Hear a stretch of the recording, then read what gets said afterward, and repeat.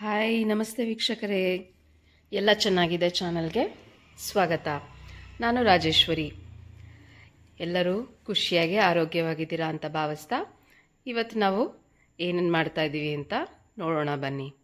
ಇವತ್ತು ನಾನು ಸುಲಭವಾಗಿ ಒತ್ತು ಶಾವ್ಗೆ ಹಾಗೂ ಅದ್ರ ಜೊತೆ ಒಂದು ಸಿಂಪಲ್ ಆಗಿರೋ ಸಾಗು ಮತ್ತು ಕಾಯಿ ಹಾಲನ್ನು ಹೇಗೆ ಮಾಡೋದು ಅಂತ ತೋರಿಸ್ತಾ ಇದ್ದೀನಿ. ಇದನ್ನು ಹೇಗೆ ಮಾಡೋದು ಅಂತ ನೋಡೋಣ ಬನ್ನಿ. ಹಾಗೆ ನೀವಿನ್ನೂ ನಮ್ಮ ಚಾನಲ್ಗೆ ಸಬ್ಸ್ಕ್ರೈಬ್ ಆಗಿಲ್ಲ ಅಂದರೆ ಚಾನಲ್ಗೆ ಸಬ್ಸ್ಕ್ರೈಬ್ ಮಾಡ್ಕೊಳ್ಳಿ. ವಿಡಿಯೋನ ಸ್ಕಿಪ್ ಮಾಡದೆ ಕಡೆ ತನಕ ನೋಡಿ. ನೋಟಿಫಿಕೇಷನ್ ಬಟನನ್ನು ಆನ್ ಮಾಡ್ಕೊಳ್ಳಿ. ಈ ಒತ್ತು ಶಾವ್ಗೆ ಅಕ್ಕಿ ನೆನೆ ಹಾಕಿ, ರುಬ್ಬಿ ಎಲ್ಲ ಮಾಡೋ ಪ್ರೊಸೀಜರಲ್ಲಿ ಮಾಡ್ತಾ ಇಲ್ಲ. ತುಂಬಾ ಸುಲಭವಾಗಿ ಮಾಡೋ ಪ್ರೊಸೀಜರಲ್ಲಿ ತೋರಿಸ್ತಾ ಇದ್ದೀನಿ.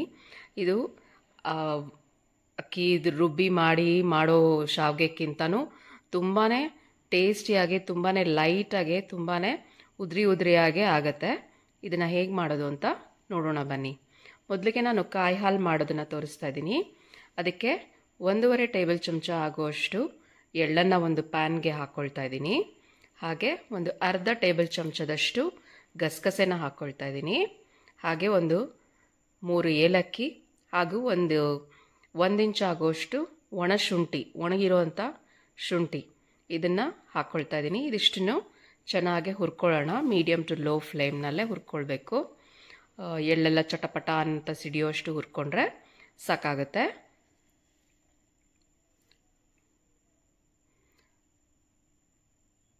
ಈ ಕಾಯಿ ಹಾಲು ಒತ್ತು ಶಾವಿಗೆ ಜೊತೆ ತುಂಬಾ ರುಚಿಯಾಗತ್ತೆ ತುಂಬಾ ಡಿಫ್ರೆಂಟಾಗಿರತ್ತೆ ತಿನ್ನೋದಕ್ಕೆ. ನೀವು ಇದನ್ನು ಬೆಳಗ್ಗೆ ತಿಂಡಿಗೆ ಬೇಕಾದರೂ ಮಾಡ್ಕೊಳ್ಬೋದು ಅಥವಾ ಯಾವುದಾದ್ರೂ ಹಬ್ಬದಲ್ಲಿ ಸಹ ಮಾಡ್ಕೊಳ್ಬೋದು. ನೋಡಿ, ಇವಾಗ ಚೆನ್ನಾಗಿ ಎಳ್ಳೆಲ್ಲ ಚಟಪಟ ಅಂತ ಸಿಡಿತಾ ಇದೆ. ಇಷ್ಟ ಆದರೆ ಸಾಕಾಗುತ್ತೆ. ಈಗ ಒಂದು ಮಿಕ್ಸಿ ಜಾರ್ಗೆ ನಾವು ಈ ಹುರಿದಿರೋ ಅಂಥ ಮಿಶ್ರಣ ಹಾಕೋಣ. ಹಾಗೆ ಒಂದು ಅರ್ಧ ಭಾಗದಷ್ಟು ತೆಂಗಿನಕಾಯಿ ಪೀಸಸನ್ನು ಹಾಕ್ಕೊಳ್ತಾ ಇದ್ದೀನಿ. ನೀವು ತೆಂಗಿನ ತುರಿ ಸಹ ಸೇರಿಸ್ಕೋಬೋದು. ಹಾಗೆ ಇದಕ್ಕೆ ಒಂದೇ ಒಂದು ಸಣ್ಣ ಪೀಸ್ನಷ್ಟು ಕಲ್ಲುಪ್ಪನ್ನು ಸೇರಿಸ್ತಾ ಇದ್ದೀನಿ. ಇದರಿಂದ ಕಾಯಿ ಹಾಲಿನಲ್ಲಿ ರುಚಿ ತುಂಬ ಚೆನ್ನಾಗಾಗತ್ತೆ. ಇದಿಷ್ಟನ್ನು ಇವಾಗ ಎಷ್ಟು ಅವಶ್ಯಕತೆ ಇದೆಯೋ ಅಷ್ಟು ನೀರು ಹಾಕ್ಕೊಂಡು ಫೈನ್ ಪೇಸ್ಟ್ ಮಾಡ್ಕೊಳ್ಳೋಣ. ನೋಡಿ, ಈ ರೀತಿ ನುಣ್ಣಗೆ ರುಬ್ಕೊಂಡಿರೋದನ್ನು ನಾನು ಒಂದು ಪಾತ್ರೆಗೆ ತೆಕ್ಕೋತಾ ಇದ್ದೀನಿ. ಸ್ವಲ್ಪ ಸ್ವಲ್ಪ ನೀರನ್ನು ಮಿಕ್ಸಿ ಜಾರ್ಗೆ ಸೇರಿಸಿ ಅದನ್ನು ಸಹ ಇದಕ್ಕೇ ಹಾಕ್ಕೊಳ್ತಾ ಇದ್ದೀನಿ. ಈಗ ನಾವು ಬೆಲ್ಲನ ಕರಗಿಸ್ಕೊಳ್ಳೋಣ. ಒಂದು ಅರ್ಧ ಕಪ್ ಆಗೋಷ್ಟು ಬೆಲ್ಲನ ನಾನು ಪುಡಿ ಮಾಡಿ ಇಟ್ಕೊಂಡಿರೋದನ್ನು ಹಾಕ್ಕೊಳ್ತಾ ಇದ್ದೀನಿ. ಹಾಗೆ ಒಂದು ಅರ್ಧ ಕಪ್ ಆಗೋಷ್ಟು ನೀರನ್ನು ಇದಕ್ಕೆ ಸೇರಿಸ್ತಾ ಇದ್ದೀನಿ. ಇದು ಸುಮ್ಮನೆ ಕರಗಿದ್ರೆ ಸಾಕು. ಕರಗಿದ ನಂತರ ಶೋಧಿಸ್ಕೊಂಬಿಡೋಣ. ಬೆಲ್ಲ ಚೆನ್ನಾಗಿ ಕರಗಲಿ.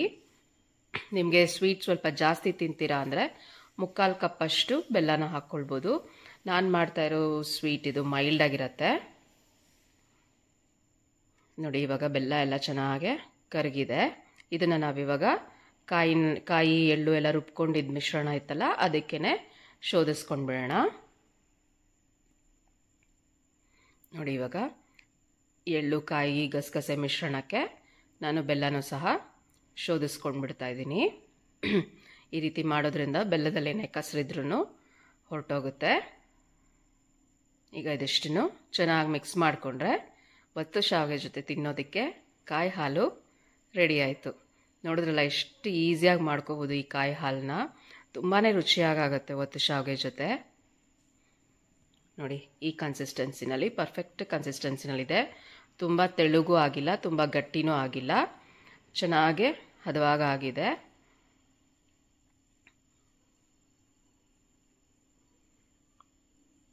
ಈಗ ಕಾಯಿ ಹಾಲು ಸಿದ್ಧ ಆಯಿತು ನಾವು ಒಂದು ಆಗಿ ಸಾಗುನ ಸಹ ಮಾಡ್ಕೊಳ್ಳೋಣ. ಸಾಗು ಮಾಡ್ಕೊಳ್ಳೋದಕ್ಕೆ ನಾನು ಡೈರೆಕ್ಟಾಗಿ ಕುಕ್ಕರ್ನಲ್ಲೇ ಒಂದು ಎರಡು ಟೇಬಲ್ ಚಮಚ ಆಗೋಷ್ಟು ಎಣ್ಣೆನ ಹಾಕ್ಕೊಳ್ತಾ ಇದ್ದೀನಿ. ನಾನಿಲ್ಲಿ ಕೊಬ್ಬರಿ ಎಣ್ಣೆನ ಬಳಸ್ತಾ ಇದ್ದೀನಿ. ನೀವು ಯಾವುದು ನಿಮ್ಮ ಮನೆಯಲ್ಲಿ ಬಳಸ್ತೀರಾ ಅದನ್ನು ಹಾಕ್ಕೊಳ್ಬೋದು ಹಾಗೆ ಒಂದು ಒಂದು ಚಮಚದಷ್ಟು ಸಾಸಿವೆ, ಒಂದು ಅರ್ಧ ಚಮಚದಷ್ಟು ಜೀರಿಗೆ, ಸ್ವಲ್ಪ ಹಿಂಗು, ಹಾಗೆ ಒಂದು ಎರಡು ಕಡ್ಡಿ ಕರಿಬೇವಿನ ಸೊಪ್ಪು. ಇದಿಷ್ಟನ್ನು ಹಾಕ್ಕೊಂಡು ಇದೆಲ್ಲ ಚಟಪಟ ಅನ್ನೋ ಅಷ್ಟರಲ್ಲಿ ನಾವು ಒಂದು ಮೀಡಿಯಮ್ ಸೈಜ್ ಈರುಳ್ಳಿನ ಹೆಚ್ಕೊಂಡಿರೋದನ್ನು ಹಾಕ್ಕೊಳ್ಳೋಣ ನೋಡಿ, ಇಲ್ಲಿ ಒಂದು ಮೀಡಿಯಮ್ ಈರುಳ್ಳಿ ಹಾಗೂ ಎರಡು ಟೊಮ್ಯಾಟೊನ ನಾನು ಸಣ್ಣದಾಗಿ ಹೆಚ್ಕೊಂಡಿದ್ದೀನಿ.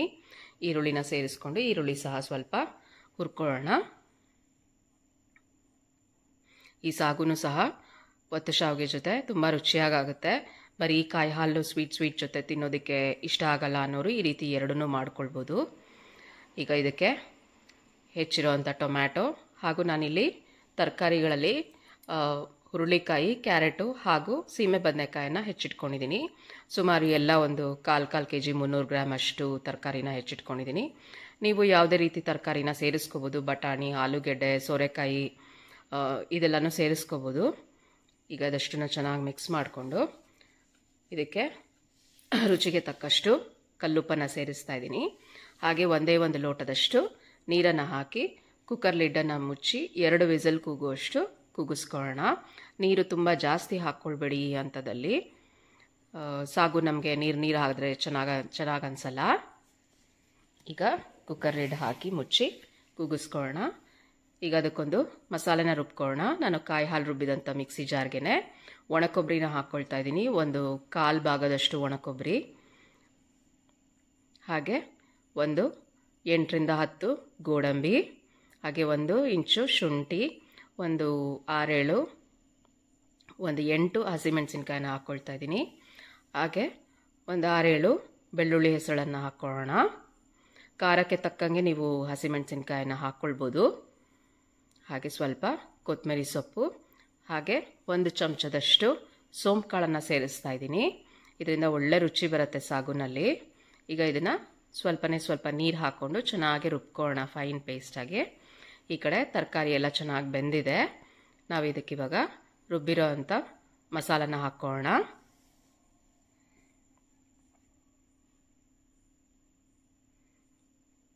ಈಗ ಅದೇ ಮಿಕ್ಸಿ ಜಾರ್ಗೆ ಸ್ವಲ್ಪನೇ ಸ್ವಲ್ಪ ನೀರನ್ನು ಒಂದು ಕಾಲು ಭಾಗ ಲೋಟದಷ್ಟು ನೀರನ್ನು ಸೇರಿಸಿ ಹಾಕ್ಕೊಳ್ಳೋಣ ನೀರು ಮುಂಚೆನೇ ತುಂಬ ಜಾಸ್ತಿ ಹಾಕ್ಕೊಂಡು ಬಿಡಬೇಡಿ. ನೋಡಿಕೊಂಡು ಅವಶ್ಯಕತೆ ಇರೋಷ್ಟು ಮಾತ್ರ ಹಾಕ್ಕೊಳ್ಳೋಣ ಈಗ ಇದನ್ನು ಚೆನ್ನಾಗಿ ಮಿಕ್ಸ್ ಮಾಡಿಕೊಂಡು ನಮಗೆ ಸಾಗು ರೀತಿ ಕನ್ಸಿಸ್ಟೆನ್ಸಿ ಇದೆಯಾ ನೋಡಿಕೊಂಡು ಚೆನ್ನಾಗಿ ಕುದಿಲಿಕ್ಕೆ ಬಿಟ್ಬಿಡೋಣ. ಇದು ಕುದೀತಾ ಕುದೀತಾ ಸ್ವಲ್ಪ ಗಟ್ಟಿ ತುಂಬ ಅಲ್ಲ, ಸ್ವಲ್ಪ ಗಟ್ಟಿ ನೋಡಿ, ಇದು ಕುದಿ ಬಂದ ನಂತರ ನೀವು ಉಪ್ಪು ಎಲ್ಲ ಚೆಕ್ ಮಾಡ್ಕೋಬೋದು ಈ ಹಂತದಲ್ಲಿ. ಏಕೆಂದರೆ ನಾವು ಬೇಯುವಾಗ ಮಾತ್ರ ಉಪ್ಪು ಹಾಕಿರೋದು.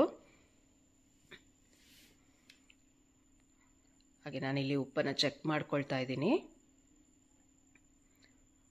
ನನಗೆ ಇನ್ನೂ ಸ್ವಲ್ಪ ಉಪ್ಪು ಬೇಕು ಅಂತ ಅನ್ನಿಸ್ತಾ ಇದೆ. ಸ್ವಲ್ಪ ಉಪ್ಪನ್ನು ಸೇರಿಸ್ತೀನಿ.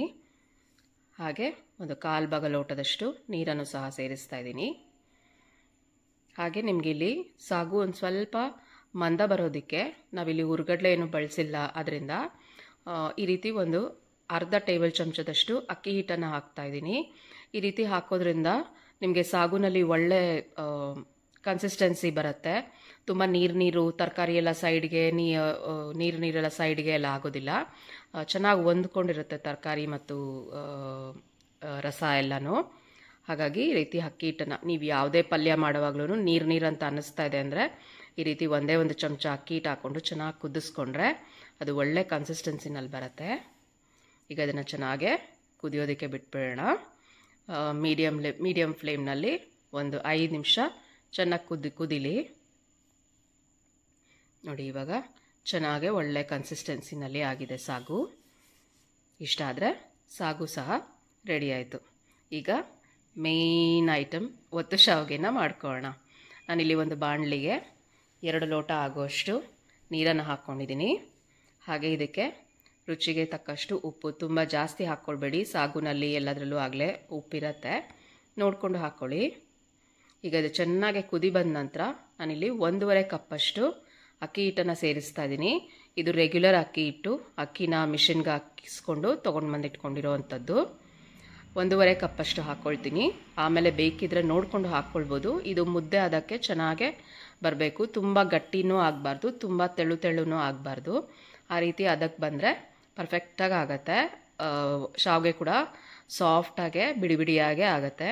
ತುಂಬ ಗಟ್ಟಿ ಮಾಡ್ಕೊಂಬಿಟ್ರೆ ಶಾವಿಗೆ ಒಂಥರ ಒಣ ಒಣ ಅಂತ ಅನಿಸುತ್ತೆ. ತುಂಬ ಮೆತ್ತಗೆ ಮಾಡ್ಕೊಂಬಿಟ್ರೆ ಅಂಟ್ ಅಂಟಂಟಾಗುತ್ತೆ ಶಾವಿಗೆ. ಹಾಗಾಗಿ, ಈ ನೋಡಿ ಈಗ ಒಂದೂವರೆ, ಎರಡು ಲೋಟಕ್ಕೆ ಒಂದೂವರೆ ಲೋಟ ಕರೆಕ್ಟಾಗಿ ಆಗಿದೆ ನನಗೆ ಅಕ್ಕಿ ಹಿಟ್ಟು. ನೀವು ನೋಡಿಕೊಂಡು ಹಾಕ್ಕೊಳ್ಳಿ, ಮತ್ತು ಬೇಕಂದರೆ ಸೇರಿಸ್ಕೋಬೋದು, ಏನೂ ತೊಂದರೆ ಆಗಲ್ಲ. ಇದನ್ನು ಚೆನ್ನಾಗೇ ಈ ರೀತಿ ಮಿಕ್ಸ್ ಮಾಡಿಕೊಂಡು ಒಂದೇ ಒಂದು ನಿಮಿಷಗಳ ಕಾಲ ಬೇಯೋದಕ್ಕೆ ಬಿಟ್ಬಿಡೋಣ. ಲೋ ಫ್ಲೇಮ್ ಮಾಡಿ ಬೇಯೋದಕ್ಕೆ ಬಿಡಿ. ನೋಡಿ ಈ ರೀತಿ ಈಗ ನೋಡಿ ಎಷ್ಟು ಚೆನ್ನಾಗಿ ಒಳ್ಳೆ ಹದಕ್ಕಾಗಿದೆ. ಈಗ ಇದನ್ನು ಆರೋದಕ್ಕೆ ಸ್ವಲ್ಪ ಉಗುರು ಬೆಚ್ಚಗಾಗುವಷ್ಟು ಬಿಟ್ಬಿಡೋಣ. ನೋಡಿ ಇವಾಗ ಸ್ವಲ್ಪ ಬೆಚ್ಚಗಾಗಿದೆ. ಇದನ್ನು ಚೆನ್ನಾಗೆ ನಾದ್ಕೊಳ್ಳಿ. ಸ್ವಲ್ಪ ಸ್ವಲ್ಪನೇ ನಾದ್ಕೊಂಡು ನಾದ್ಕೊಂಡು ನಾನಿವತ್ತು ಚಕ್ಲಿ ಒರಳಲ್ಲೇ ಒತ್ತು ಶಾವಿಗೆನ ಮಾಡೋದನ್ನು ತೋರಿಸ್ತಿದ್ದೀನಿ ಹಾಗಾಗಿ ಚಕ್ಲಿ ಒರಳಿಗೆ ಎಷ್ಟು ಹಿಟ್ಟು ಬೇಕೋ ಅಷ್ಟನ್ನು ನಾದ್ಕೊಂಡು ನಾದ್ಕೊಂಡು ಚೆನ್ನಾಗೆ ನಾದ್ಕೊಂಡು, ಇಡೀ ನಾದ್ಕೊಂಡಷ್ಟು ಶಾವಿಗೆ ತುಂಬ ಚೆನ್ನಾಗಾಗತ್ತೆ. ನೋಡಿ, ಈ ರೀತಿ ನಾನು ನಾದ್ಕೊಂಡಿದ್ದೀನಿ. ಈಗ ಈ ಚಕ್ಲಿ ಒರಳಿಗೆ ನಾನು ಅತಿ ಸಣ್ಣದಾಗಿರೋವಂಥ ತೂತಿರೋವಂಥ ಪ್ಲೇಟನ್ನು ಬಳಸ್ತಾ ಇದ್ದೀನಿ. ಹಾಗೆ ಒರಳಿಗೂ ಸಹ ಎಣ್ಣೆನ ಸವರ್ಕೊಳ್ತಾ ಇದ್ದೀನಿ. ಈಗ ಹಿಟ್ಟನ್ನು ಅದರಲ್ಲಿ ಹಾಕ್ಕೊಂಡು ನಾವು ಲಿಡ್ ಕ್ಲೋಸ್ ಮಾಡಿಕೊಂಡು ಶಾವಿಗೆನ ಹೊತ್ಕೊಳ್ಳೋಣ. ನೋಡಿ, ಈ ರೀತಿ ಇದಕ್ಕೂ ಸಹ ಎಣ್ಣೆ ಸವರಿದ್ರೆ ಅದಕ್ಕೆ ಅಂಟ್ಕೊಳ್ಳೋದಿಲ್ಲ. ನಾನಿಲ್ಲಿ ತಟ್ಟೆ ಇಡ್ಲಿದು ಪ್ಲೇಟ್ನ ಯೂಸ್ ಮಾಡ್ತಾ ಇದ್ದೀನಿ. ನಾನು ಇದಕ್ಕೇನು ಬಾಳೆ ಎಲೆ ಎಲ್ಲ ಹಾಕ್ತಾ ಇಲ್ಲ. ಹಾಗಾಗಿ ಎಣ್ಣೆನ ಚೆನ್ನಾಗಿ ಸವರ್ಕೊಳ್ತಾ ಇದ್ದೀನಿ. ಎಣ್ಣೆ ನೀಟಾಗಿ ಸವರ್ಕೊಳ್ಳಿ. ಆವಾಗ ನೀಟಾಗಿ ಎದ್ದು ಬರುತ್ತೆ. ಈಗ ಇದಕ್ಕೆ ನಾವು ಒಂದೊಂದಕ್ಕೆ ಶಾವಿಗೆನ ಹೊತ್ಕೊಳ್ಳೋಣ. ನೋಡಿ, ಎಷ್ಟು ಚೆನ್ನಾಗೆ ತೆಳುವಾಗಿ ಶಾವಿಗೆ ಬಿಡಿ ಬಿಡಿಯಾಗೆ ಬರ್ತಾ ಇದೆ. ಒಂದು ಮೂರು ಸುತ್ತು ಸುತ್ತಿದ್ರೆ ಸಾಕಾಗುತ್ತೆ. ತುಂಬ ಜಾಸ್ತಿ ಒತ್ಕೋಬೇಡಿ ಈಗ ಅಷ್ಟು ಶಾವಿಗೆನ ನೋಡಿ ಎಷ್ಟು ಚೆನ್ನಾಗೆ ಶಾವಿಗೆ ಬೆಳ್ಳಗೆ ತುಂಬಾ ತೆಳ್ಳಗೆ ಬಂದಿದೆ. ಅಷ್ಟು ಶಾವಿಗೆನ ತಟ್ಟೆಗಳಿಗೆಲ್ಲ ಒತ್ಕೊಂಡು ಬಿಡೋಣ. ತುಂಬ ಗಟ್ಟಿನೂ ಇಲ್ಲ, ತುಂಬ ಮೃದುವಾಗೂ ಇಲ್ಲ. ಒಳ್ಳೆ ಹದದಲ್ಲಿ ಆಗಿದೆ ಶಾವಿಗೆ. ಈಗ ಇದಿಷ್ಟನ್ನು ನಾನು ಪ್ಲೇಟ್ಗಳನ್ನೆಲ್ಲ ಜೋಡಿಸ್ಕೊಂಡು ಕುಕ್ಕರಲ್ಲಿ ಒಂದು ಲೋಟ ನೀರನ್ನು ಹಾಕಿ ಚೆನ್ನಾಗಿ ಬಿಸಿ ಆಗೋಕ್ಕೆ ಬಿಟ್ಟಿದ್ದೀನಿ. ಅದು ಕಾದ ನಂತರನೇ ಶಾವಿಗೆನ ಬೇಯಿಸ್ಕೊಳಕ್ಕೆ ಇಡಿ. ಈಗ ವಿಸಲ್ನ ತೆಗೆದು ಒಂದು ಲೋಟ ಮುಚ್ಚಿ ಮೀಡಿಯಮ್ ಟು ಲೋ ಫ್ಲೇಮಲ್ಲಿ ಐದೇ ಐದು ನಿಮಿಷ ನೀವು ಶಾವಿಗೆನ ಬೇಯಿಸ್ಕೊಂಡ್ರೆ ಒತ್ತು ಶಾವಿಗೆ ರೆಡಿ ಆಯಿತು. ಎಷ್ಟು ಎಳೆ ಎಳೆ ಹಾಗೆ ಅಂಟದಿರೆ ಚೆನ್ನಾಗೇ ಆಗಿದೆ ಒತ್ತು ಶಾವಿಗೆ. ಸೊ ನೀವು ಸಹ ನಿಮ್ಮ ಮನೆಯಲ್ಲಿ ಒಮ್ಮೆ ಈ ರೀತಿ ಒತ್ತು ಶಾವಿಗೆ ಮಾಡ್ಕೊಳ್ಳಿ. ಹೇಗೆ ಬಂತು ಅಂತ ಕಮೆಂಟ್ ಸೆಕ್ಷನಲ್ಲಿ ತಿಳಿಸಿ. ನೋಡಿ, ಒತ್ತು ಶಾವಿಗೆ ಸಿದ್ಧ ಆಯಿತು. ಸೊ, ಒತ್ತು ಶಾವಿಗೆ ಜೊತೆ ಕಾಯಿ ಹಾಲು ಮತ್ತು ಸಾಗುನು ಸಹ ನಾವು ಮಾಡ್ಕೊಂಡಿದ್ದೀವಿ ಇದೇ ರೀತಿ ಮತ್ತಷ್ಟು ವಿಡಿಯೋನ ನಾವು ನಮ್ಮ ಚಾನಲ್ನಲ್ಲಿ ಪೋಸ್ಟ್ ಮಾಡ್ತಾ ಇರ್ತೀವಿ. ಚಾನಲನ್ನು ಫಾಲೋ ಮಾಡಿ, ಲೈಕ್ ಮಾಡಿ, ಶೇರ್ ಮಾಡಿ, ಹಾಗೆ ಚಾನಲನ್ನು ಸಬ್ಸ್ಕ್ರೈಬ್ ಮಾಡೋದನ್ನು ಮರಿಬೇಡಿ. ನೀವು ಸಹ ಮನೆಯಲ್ಲಿ ಮಾಡ್ಕೊಳ್ಳಿ. ಖುಷಿಯಾಗ್ತೀನಿ. ಖುಷಿಯಾಗಿರಿ. ಥ್ಯಾಂಕ್ ಯು ಫಾರ್ ವಾಚಿಂಗ್ ಧನ್ಯವಾದಗಳು. ಟೇಕ್ ಕೇರ್ ನೋಡಿ, ಎಷ್ಟು ಚೆನ್ನಾಗೆ ಒತ್ತು ಶಾವಿಗೆ ಕಾಯಿ ಹಾಲು ಹಾಗೂ ಒತ್ತು ಶಾವಿಗೆ ಸಾಗು ರೆಡಿಯಾಗಿದೆ. ತುಂಬಾ ರುಚಿಯಾಗತ್ತೆ